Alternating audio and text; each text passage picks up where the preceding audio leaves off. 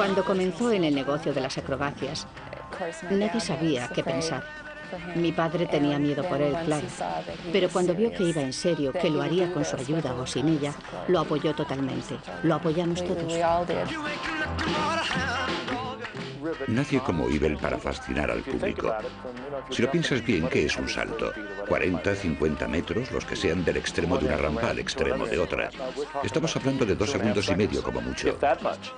Pero Ibel era capaz de convertir eso en un espectáculo de una hora y media en el que la gente se ponía de pie y animaba.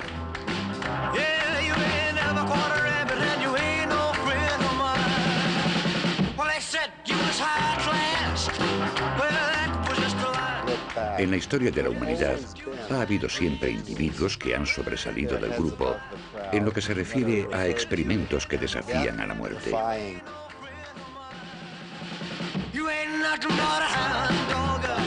En esos momentos en los que no saben si van a vivir o a morir, esa es la sensación que buscan una y otra vez.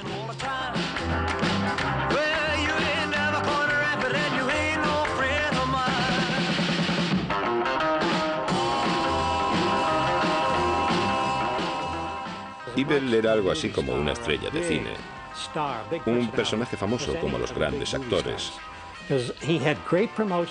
Le hacían mucha publicidad y cuando actuaba en algún lugar en particular lo hacía a lo grande.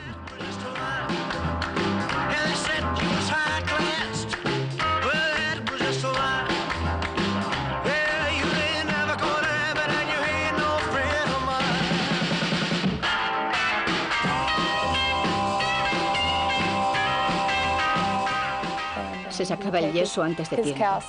Le decían seis meses, lo llevaba cinco semanas y se lo sacaba.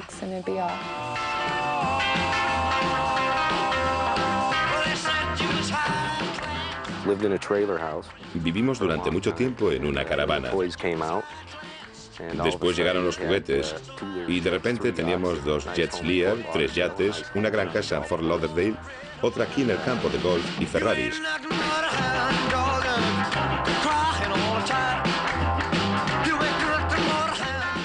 No sé qué me llevó a hacer lo que hice. Después de ver lo que he pasado, las cosas terribles que me han pasado, me pregunto por qué sigo con vida.